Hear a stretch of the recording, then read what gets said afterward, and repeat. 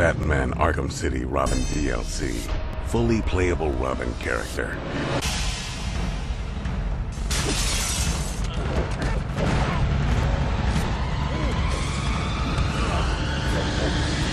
Includes two challenge maps.